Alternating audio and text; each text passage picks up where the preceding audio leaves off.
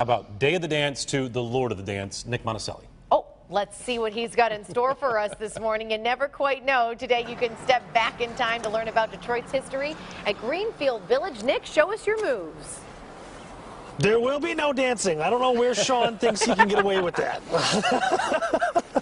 hey, good morning, everybody. I love this time of year. It's gorgeous outside. Spring has sprung, and Greenfield Village is open for business. Jim is the man of the hour. He runs all things here. At least that's what he likes to tell himself every morning. yeah. right. uh, we're standing in front of a locomotive, but not just any locomotive. This, as you tell me, is Henry Ford's favorite. Yeah, this was uh, this is good old number seven, and this was a locomotive Henry Ford was especially fond of and kept it in a uh, kind of restored state and would use it for special occasions and things like that.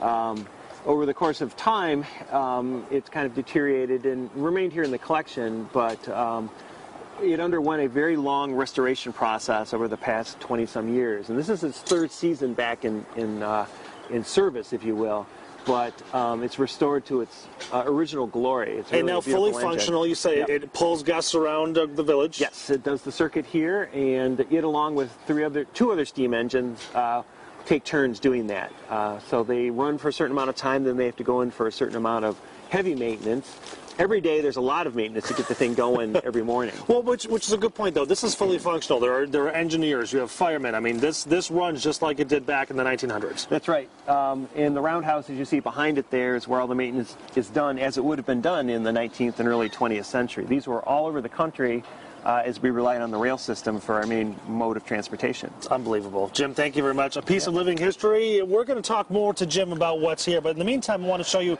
the information, what you can do and how you can do it here at Greenfield Village. As you see on your screen, 300 years of American life. They opened today at 9.30 in the morning. They close at 5 later tonight. Uh, the tickets are $26 for the adults. Kids ages 5 to 12 are 19.50. Under the age of 5, your little one gets in free. Parking is $6, but it's, it's, it's it's the fee. It's not like you have to pay as you come in. It's all rolled into one. Sean Lauren, I love this place. And Lauren, you're going to love this even more because coming up next, little baby lambs that they're maybe a day or two old. Very that. nice. And we'll bring one home, Nick, uh, as well. yeah, that's your job. I don't know. All right, Nick, thanks so thanks, much. Nick.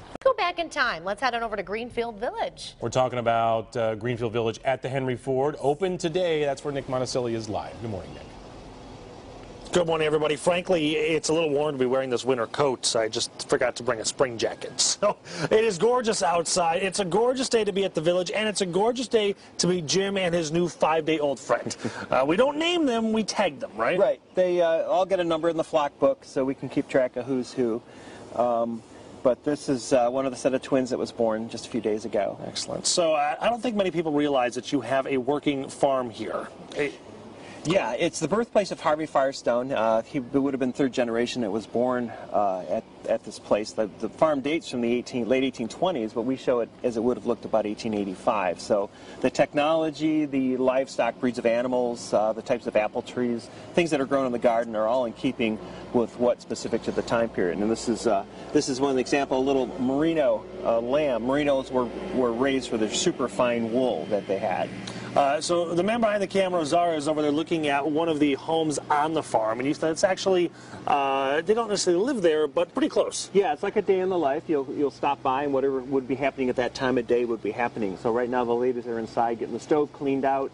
Uh, we should see smoke coming out of the chimney pretty soon. They're going to start fixing dinner for the staff that works here. All recipes, types of foods that would have been eaten uh, at this time of the year. So we're, we're, kind of short on time here, but can you briefly tell us, um, you know, if you're coming to the village, what can you expect outside of the farm here? Uh, there's all sorts of other things to do. The Liberty Craft Works is very active, so we have glass blowing, pottery making, the weaving, and the tin shop. Another living history farm at the far end of the village shows you life in the 1760s, and uh, of course the rides. We have Model T, the uh, the train, the horse-drawn vehicles, and of course the carousel. I can ride the Model T. You can. We have a whole fleet of them, and they uh, uh, they run every day here. Can I take the lamb on the Model T with me? Uh, wouldn't be the first time, but probably not recommended. I want to know about the other times. Jim, thank you very much. Thanks for getting up early. We appreciate that. Uh, if you want to see Jim, or more importantly, uh, this little one over here, you can do so today. Opening weekend, celebrating 300 years of American history at Greenfield Village and the Henry Ford Museum. They open at 9:30. They're closing at 5 o'clock today. Admission is $26 for the adults. Kids, $19.50. Under the age of five, you are free. Parking is an additional $6, or you could walk all the way here. It might take you just a little bit longer. Oh, uh, and the man behind the camera has decided that he wants to show you a squirrel. Lauren and Sean, I, when you have the camera, you can basically do whatever you want. Well, it's the beauty Squirrel. of nature. He's capturing it for us live on TV. We love it. When you have baby lambs and sunshine, you can't go wrong. Lambs are adorable. Thank you, Nick.